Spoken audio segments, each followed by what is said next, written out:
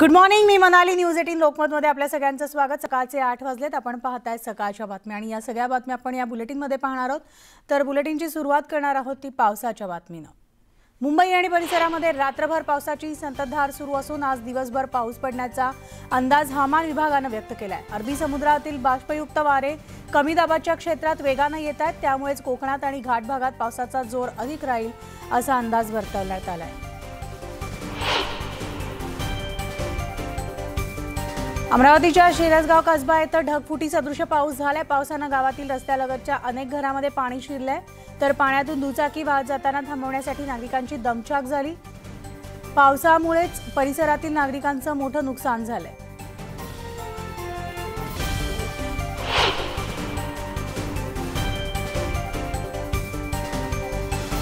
नागपूरमध्ये काल दुपारी पावसाच्या जोरदार सरी कोसळल्या तर जिल्ह्याच्या ग्रामीण भागात विजांच्या कडकडाटांसह जोरदार पाऊस झाला आणि नरखेड तालुक्यामध्ये वीज कोसळून एकाचा मृत्यू झाला.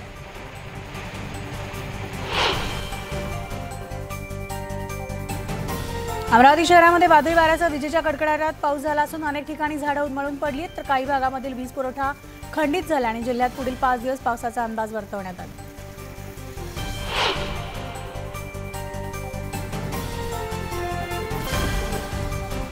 भंडाऱ्यामधील देवाडी येथे वीज पडून झाड जळाल्याची घटना समोर आली आहे. तर वीज पडून झाड जळाल्याची थरारक दृश्य कॅमेऱ्यात कैद झाली आहेत वीज पडल्यानंतर मोठा आवाज झाला.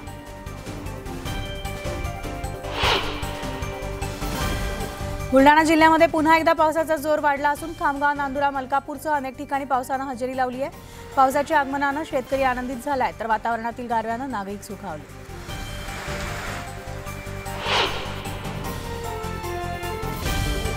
नागपुरात वीज पडून तीन शेतकऱ्यांचा मृत्यू झालाय तर एक बैलजोडी देखील मृत्युमुखी पडली. पेरणी करत असताना शेतकऱ्यांच्या अंगावर वीज पडून त्यांचा मृत्यू झालाय. अमरावती जिल्ह्यामध्ये वादळी वाऱ्यासह जोरदार पाऊस झालाय. शेतकरी खरीपाच्या तयारीला लागलेला असून बाजारात शेतमाल विक्रीसाठी घेऊन जात असताना माल पावसात भिजतोय त्यामुळे शेतकऱ्यांचं नुकसान होतं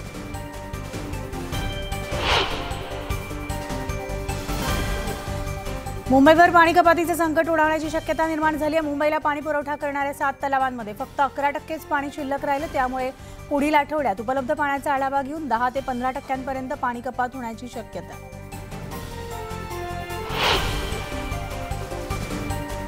नाशिक जिल्ह्यामध्ये पावसानं दडी मारल्यामुळे जिल्ह्यातील धरणांनी तळ गाठल्याचं चित्र दिसतंय. गंगापूर धरण समूहामध्ये केवळ पंचवीस टक्के पाणीसाठा शिल्लक आहे तर जिल्ह्यातील चोवीस धरणांमध्ये एकवीस टक्के इतकंच पाणीसाठा शिल्लक राहिल्यामुळे नाशिक जिल्ह्यावर पाणी कपातीचं संकट आहे.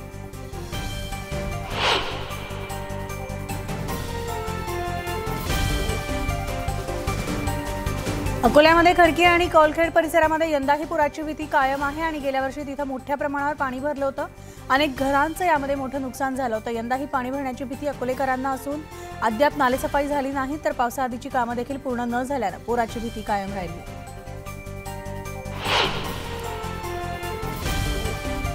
राज्य सरकारला मराठा आरक्षणाचा प्रश्न सोडविण्यास भाग पाडण्यासाठी आंदोलकांनी पुन्हा तयारी सुरू केली आहे आणि त्या पार्श्वभूमीवर मुंबईत येत्या सव्वीस जूनला राजर्षी शाहू सभागृहामध्ये मराठा आरक्षण परिषद आयोजित करण्यात आली असून या परिषदेमध्ये कायदेतज्ञ मार्गदर्शन करणार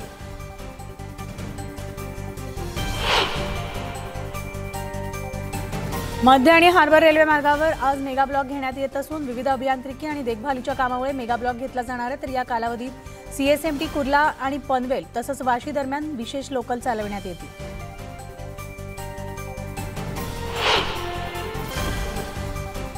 महाराष्ट्रासह काही राज्यामध्ये इंधन तुटवड्याची भीती निर्माण झाली. इंधनाची मागणी आणि पुरवठ्यातील तफावतीमुळे मे महिन्यापासूनच इंधन तुटवडा जाणवू लागलाय. आणि हा तोटा कमी करण्यासाठी खासगी पेट्रोल कंपन्यांनी अनेक ठिकाणचं पेट्रोल पंपही बंद ठेवलेत आणि त्याचा भार शासकीय कंपन्यांच्या पेट्रोल पंपावर येऊ लागलाय.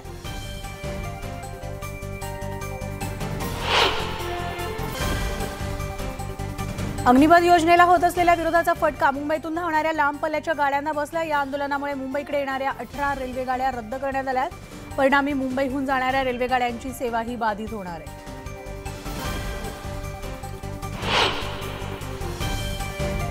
मुंबईमध्ये वेस्टर्न एक्सप्रेस वेवर दोन वाहनांची धडक झाली आणि या अपघातात तीन जण जखमी झाले तर बर्धा वेगातील कारनं महिंद्रा जीपला जोरदार धडक दिली आणि ही धडक इतकी भीषण होती की जीप उलटून झालेल्या अपघातात तिघांना गंभीर दुखापत झाली आणि या जखमींना तातडीनं रुग्णालयात दाखल करण्यात आलं.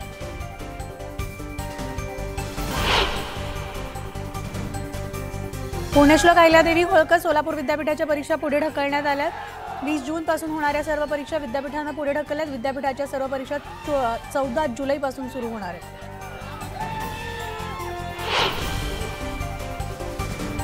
शिवसेनेचा आज वर्धापन दिन आहे. शिवसेनेच्या वर्धापन दिनानिमित्तानं मुख्यमंत्री उद्धव ठाकरे आमदारांना मार्गदर्शन करणार असून शिवसेनेचे सर्व आमदार पवईतील वेस्टिन हॉटेलमधील तिथं वेस्टिन हॉटेलमध्ये वास्तव्यास आहेत. त्यामुळे या ठिकाणी सगळ्या आमदारांना उद्धव ठाकरे मार्गदर्शन करणार असल्याची माहिती मिळते विधान परिषद निवडणुकीमध्ये कोणतीही चूक होऊ नये. यासाठी शिवसेना आमदारांची पवईतील वेस्टिन हॉटेलवर महत्वाची बैठक पार पडली. बैठकीमध्ये शिवसेना आमदारांना विधान परिषद निवडणुकीमध्ये मतदान कसं करावं याचं प्रात्यक्षिक दाखवण्यात आलं. तर प्रत्यक्ष मतदानादरम्यान जशी मतदान प्रक्रिया असते तशी प्रात्यक्षिकाची रंगीत तालीम करण्यात आली.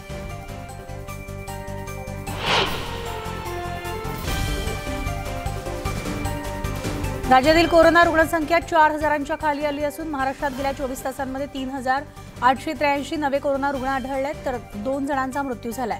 महाराष्ट्रातील सक्रिय कोरोना रुग्णांची संख्या बावीस हजार आठशे अठ्ठावीस वर जाऊन पोहोचली आहे.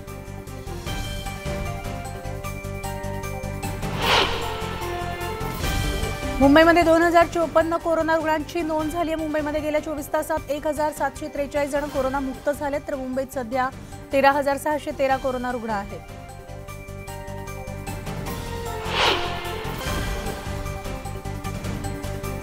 कल्याण डोंबिवली महापालिका क्षेत्रामध्ये पुन्हा एकदा कोरोना रुग्णसंख्या वाढताना दिसते गेल्या चोवीस तासात कोरोनाचे नवे एकशे एकोणीस रुग्ण आढळले. कोकणाला लाभलेल्या समुद्र किनारपट्टीची मोठ्या प्रमाणात धूप होतीये. मानवी वस्तीला किनाऱ्या लागत असलेल्या नारळी पोफईच्या बागांना धोका निर्माण झाला आणि त्यामुळे समुद्र किनारपट्टी सुरक्षित करण्यासाठी धूप प्रतिबंध बंधारा होण्याची मागणी केली जाते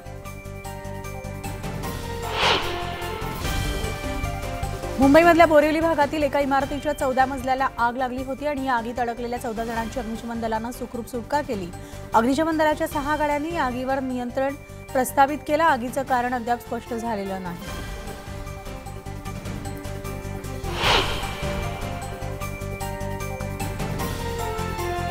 घराच्या बाहेर बसलेल्या चार वर्षाच्या चिमुकलीवर भटक्या कुत्र्यानं हल्ला केला तर या हल्ल्यात गंभीर जखमी झालेल्या मुलीवर उपचारांसाठी इंजेक्शन मिळत नसल्यानं तब्बल सहा तास उपचाराविना तिला राहावं लागल्याचं समोर आलं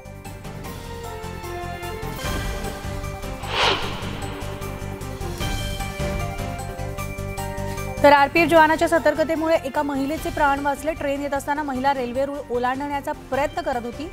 काही सेकंदाच्या अंतरानं पोलिसांनी रेल्वे रुळावरून महिलेला प्लॅटफॉर्मवर ओढल्यानं त्यांचे प्राण वाचले. झाशी रेल्वे स्टेशनमधली घटना आहे.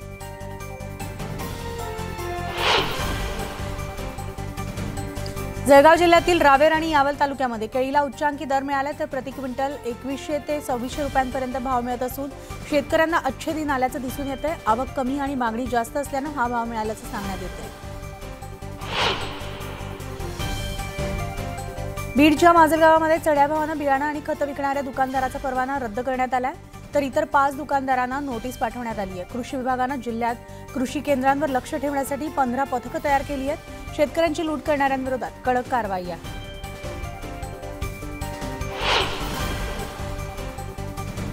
सडलेल्या फळांचा ज्यूस बनवलं जात असलेला एक व्हिडिओ सध्या सोशल मीडियावर प्रचंड व्हायरल झाला आणि एका तरुणानं हा व्हिडिओ मोबाईलमध्ये कैद केलाय. तर सगळीकडे याची खळबळ उडाली असून भिवंडीतील हा व्हिडिओ समोर असल्याचं आलंय. नागरिकांनी ज्यूसच्या गाडीवर धाव घेत ज्यूसवाल्याला चांगला चोप दिलाय. न्यूज एटीन लोकमतनं सडक्या फळापासून ज्यूस बनवत असल्याचा व्हिडिओ दाखवला आणि त्यानंतर भिवंडी प्रशासनाला जाग आली. महापालिका प्रशासनानं या ज्यूस सेंटरवर कारवाई करत ज्यूस सेंटर सील करत तोडक कारवाई केली आहे.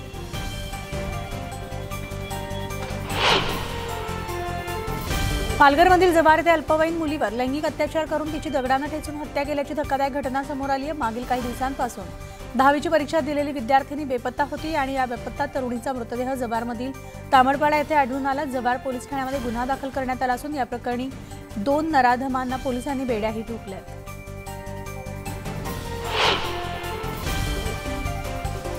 जळगाव शहरामधील समतानगरमध्ये एका तरुणानं तरुणीची छेड काढली आहे. यावरून एका गटानं छेड काढणाऱ्या तरुणाला बेदम चोप दिलाय. तर या मारहाणीमध्ये हा तरुण जखमी झाला असून त्याच्यावर जिल्हा रुग्णालयात उपचार सुरू आहे घटनेची माहिती पोलिसांना मिळताच पोलिसांनी घटनास्थळी धाव घेतली आणि त्यामुळे परिसरात तणावाचं वातावरण निर्माण झालं होतं.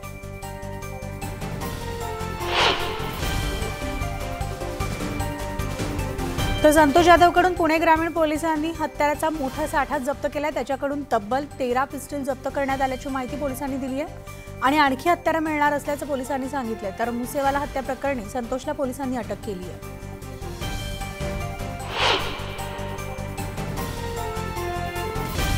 अहमदनगरच्या स्थानिक गुन्हे शाखेच्या पथकानं श्रीरामपूर येथे आठ गावठी कट्टे आणि दहा जिवंत काडपुसे जप्त केली आहेत. श्रीरामपूर येथे विक्रीच्या उद्देशानं गावठी कट्टे बाळगणाऱ्या तीन सराईत आरोपींना जेरबंद केलं आणि राहुल कलानी आकाश जुनी आणि अक्षय कलानी अशी ताब्यात घेतलेल्या आरोपींची नावं आहेत.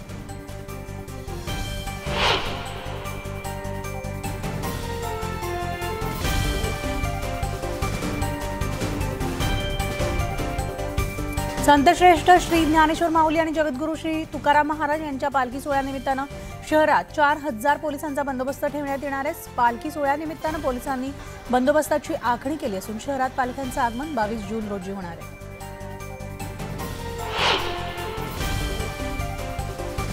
देहूमध्ये वारीची तयारी नगरपंचायतीकडून पूर्ण झाली आहे तर देहू नगरी ही वारकऱ्यांच्या स्वागताला सज्ज झाली आहे. राज्याच्या कानाकोपऱ्यातून येणाऱ्या भाविकांना कोणतीही गैरसोय होऊ नये. यासाठी देऊ प्रशासनानं कंबर कसली आहे तर डेंग्यू मलेरिया किंवा अन्य साथी आजारपण येऊ नये म्हणून पूर्ण देहूत रोज फॉगिंग धूर फवारणी सुरू आहे.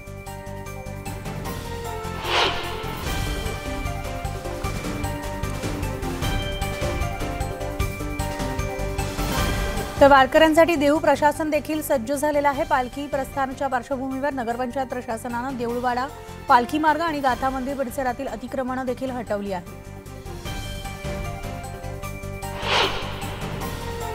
देऊ नगरपंचायतीच्या वतीनं पालखी सोहळ्याची तयारी आता पूर्ण झाली. जगद्गुरू संत तुकाराम महाराजांच्या पालखी सोहळ्यासाठी देहू सज्ज झाली असून वारकऱ्यांसाठी देहू नगरपंचायतीनं सोयीसुविधा पुरवण्यात सुरुवात केली आहे. आरोग्य सेवेसाठीची कामंही आता पूर्ण करण्यात आली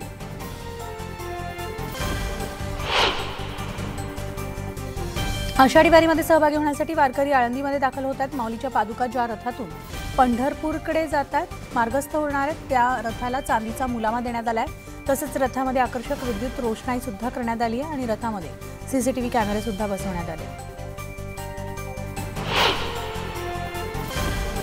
जालना येथे संत संत मुक्ताईंची पालखी पंढरीच्या दिशेनं निघाली असून मुक्ताबाईंची पालखी जालना जिल्ह्यात पोहोचली आहे. आणि दोन वर्षानंतर जालन्यात पालखीचं जल्लोषात आगमन झालं तर वारकऱ्यांमध्ये मोठा उत्साह पाहायला मिळतोय. विदर्भ पंढरी म्हणून ओळख असलेल्या शेगावमधून संत गजानन महाराजांची पालखी पंढरपूरकडे रवाना झाली तर हिंगोली जिल्ह्यातल्या डिग्रज करा इथं या दिंडीचा दुसरा मुक्काम झाला. ज्योतिर्लिंग औंढा नागनाथ येथे दुपारचं जेवण करून ही पालखी बाराशिवकडे मार्गस्थ झाली.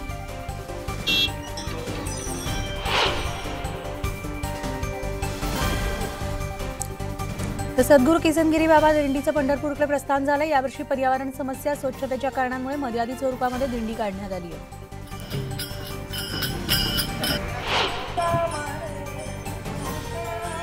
कोरोनाच्या संकटामुळे वर्ध्यातल्या विठ्ठल भक्तांनी वारीला जाता आलं नाही म्हणून मात्र आता टाळ मृदुंगाच्या गजरात विठ्ठल नामाचा जयघोष करत अनेक वारकरी वारीसाठी रवाना झालेत.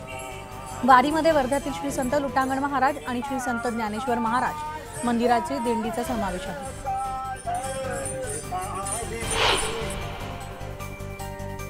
उद्घाटनावेळी सध्या समृद्धी महामार्गावर वाहतूक बंद आहे. सध्या सोशल माध्यमावर या महामार्गावरून काळवीट धावतानाचा एक व्हिडिओ व्हायरल झालाय. जणू काही काळविटाची शर्यतच या महामार्गावर लागलेली आहे. असं या व्हिडिओ दिसतंय.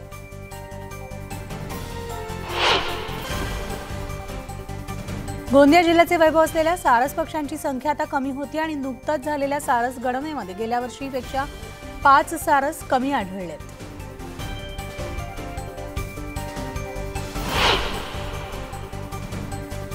रत्नागिरी इथल्या हरणे गावात कुंपणासाठी लावण्यात आलेल्या जाळ्यामध्ये अजगर अडकला होता. या अजगराची सर्पमित्राकडून सुटका करण्यात आली. तर त्याला जंगलात सोडण्यात आले.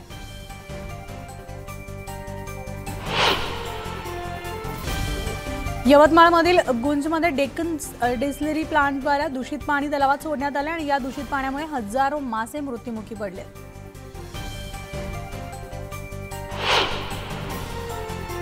नांदेडमध्ये पाऊस लावल्यामुळे पिण्याच्या पाण्यासाठी वन्य प्राण्यांसह पशुपक्ष्यांना भटकंती करावी लागते. उन्हाळ्यात वन विभागानं कृत्रिम पाणवठे तयार केले होते पण आता कृत्रिम पाणवठ्याचे केवळ सांगाडे शिल्लक आहेत आणि या कृत्रिम पाणवठ्यामध्ये पाणी नेऊन टाकण्याची तसदी वनविभाग येताना दिसत नाहीये.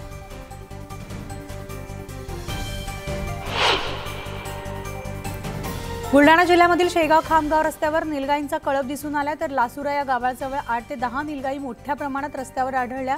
त्यामुळे या रस्त्यावरून जाणाऱ्यांची घाबरगुंडी उडाली. पाण्याच्या आणि खाण्याच्या शोधात या नीलगाई जंगल परिसर सोडून ग्रामीण भागाकडे वाटचाल करत आहेत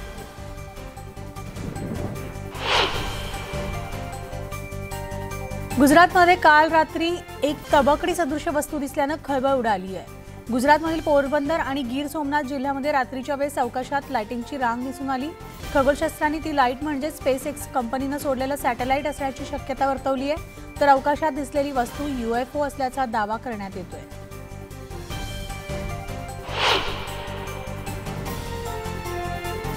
भारतात पुन्हा कोरोनानं डोकं वर काढलंय. देशामध्ये दिवसाला तेरा हजारांच्या वर कोरोना रुग्णांची नोंद होतीये. महाराष्ट्र आणि दिल्लीमध्ये सर्वाधिक रुग्णसंख्या आहे आणि देशाचे पन्नास ते साठ टक्के रुग्ण या महाराष्ट्र आणि दिल्लीतील आहेत.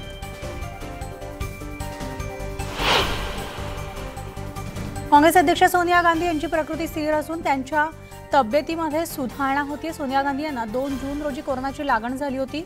दरम्यान सोनिया गांधींना ईडीकडून नवीन समन जारी करण्यात आलाय. नॅशनल हेराल्डशी संबंधित कथित मनी लॉन्ड्रिंग प्रकरणामध्ये तेवीस जूनला चौकशीसाठी हजर राहण्याचा नवीन समन जारी करण्यात आलाय.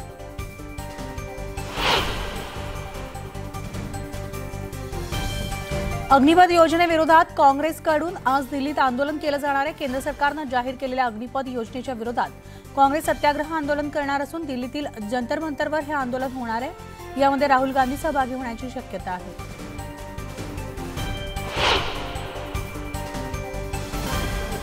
राजस्थानमध्येही मुसळधार पाऊस झाला राजस्थानमधील अ, जिल्ह्यामध्ये पाणी शिरल्याचं पाहायला मिळालं पाण्याचा प्रवाह इतका जास्त होता की पाण्यामध्ये अनेक गाड्या वाहून गेल्या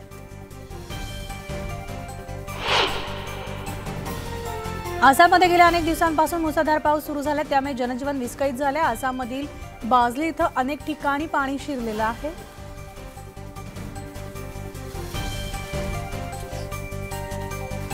आसाममधील कामपूरमध्ये पूरस्थिती निर्माण झाली. अनेक जिल्ह्यांमध्ये गंभीर स्थिती निर्माण झाली असून गावच्या गावं पाण्याखाली गेल्यानं नागरिकांचं स्थलांतर करण्यात येते आसाममध्ये झालेल्या मुसळधार पावसामुळे आसाममधील अई आणि मनाश नदीच्या पाणी पातळीमध्ये वाढ झाली त्यामुळेच नदीकाठी असणाऱ्या गावांमधील नागरिकांचं बचाव कार्य सुरू आहे.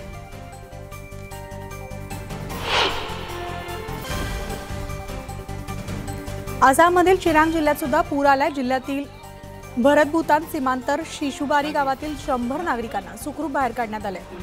तर गावामध्ये पाणी शिरल्यामुळे गावकरी गावातच अडकले होते.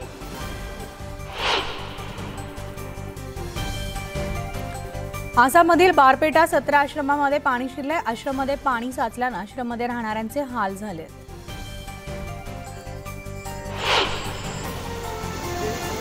आसाममधील होजा इथं रेल्वे रुळांवर पाणी साचलं त्यामुळे अनेक गाड्यांच्या फेऱ्या रद्द करण्यात आल्या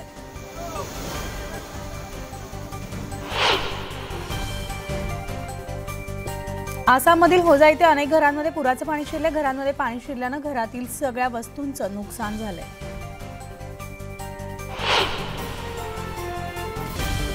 त्रिपुरामधील अगरतलामध्ये मुसळधार पावसामुळे पूर आलाय तर अनेक गावांमध्ये पाणी शिरल्यानं नागरिकांचं बचाव कार्य सुरू आहे.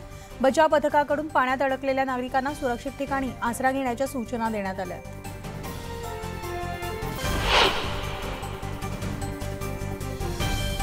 उधमपूरमध्ये रावी नदीला आलेल्या पुरामध्ये जनावरं अडकली होती आणि मुसळधार पावसामुळे पाणी पातळीत वाढ झाल्यानं नदीनं रौद्र रूप धारण केलं होतं.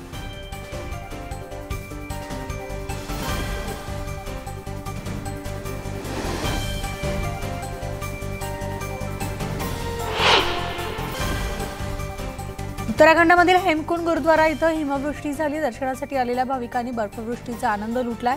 पण वातावरण आणखी बिघडत चालल्यानं भाविकांना परत जावं असं आवाहन गुरुद्वारा प्रशासनाकडून करण्यात आलंय.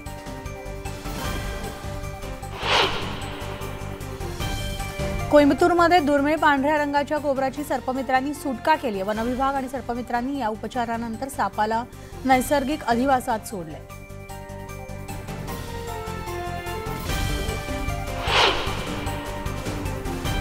भारत आणि दक्षिण आफ्रिकेमध्ये आज पाचवा टी ट्वेंटी सामना खेळला जाणार आहे. बंगळुरूमध्ये हा सामना होणार असून निर्णायक लढत होती आणि या मालिकेमध्ये दोन्ही संघ बरोबरीत असून आजच्या सामन्यात कोण बाजी मारणार याकडे क्रिकेटप्रेमींचं लक्ष लागलंय.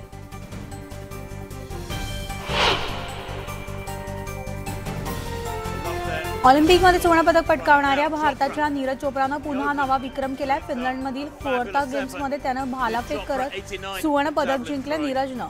शहाऐंशी पूर्णांक एकोणसत्तर मीटर दूर भालाफेक करत ही कामगिरी केली आणि अशा रीतीनं ही स्पर्धा जिंकणारा तो पहिला भारतीय ठरलाय.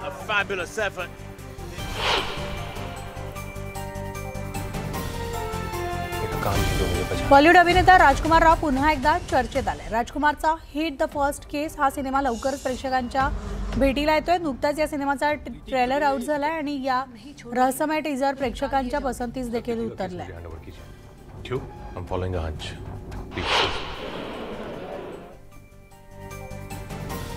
ज्येष्ठ अभिनेते नाना पाटेकर लवकरच ओ टी टी वर पदार्पण करणार आहेत. तर प्रकाश झा यांच्या लाल बत्ती या वेबसिरीजमध्ये नाना पाटेकर काम करणार असून लाल बत्ती ही एक सामाजिक राजकीय वेबसिरीज आहे.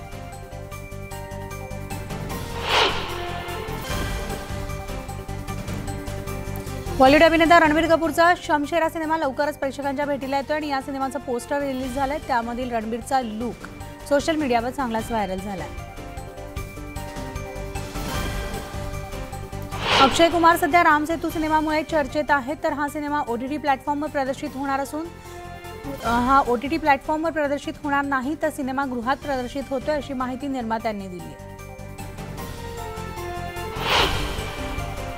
अभिनेता आयुष्यमान खुरानाचा अनेक सिनेमा आता नेटफ्लिक्स या ओ टी टी प्लॅटफॉर्मवर प्रदर्शित होणार असून अनुभव सिन्हा दिग्दर्शित हा सिनेमा बॉक्स ऑफिसवर फ्लॉप झाला होता आणि त्यामुळे रिलीज नंतर चारच आठवड्यात ओ टी टी प्लॅटफॉर्मवर येतोय. शांति समझौता करवाने में मदद करना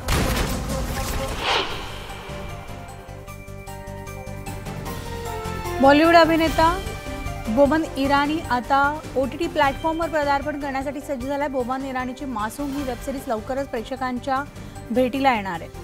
ते सतरा जूनला ही वेबसिरीज प्रदर्शित होणार असून मासूम ही वेबसिरीज पंजाबमधील फलोली येथील कपूर कुटुंबांच्या जीवनातील अकथित सत्य उलगडून दाखवणारी आहे.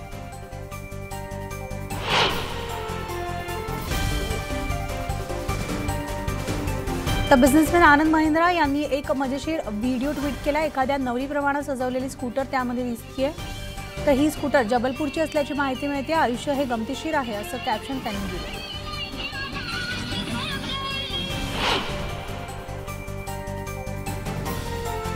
सोशल मीडियावर एका मांजराचा व्हिडिओ चांगलाच व्हायरल होतोय. यामध्ये हे मांजर जिममध्ये वर्कआउट करताना दिसतंय. मांजराच्या या मजेशीर व्हिडिओला चांगलीच पसंती देखील मिळते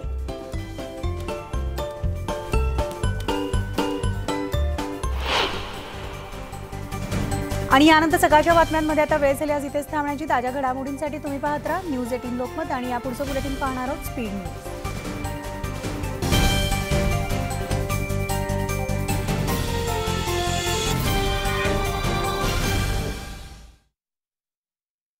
नंतर असोसिएटेड प्रेसला सांगितलं.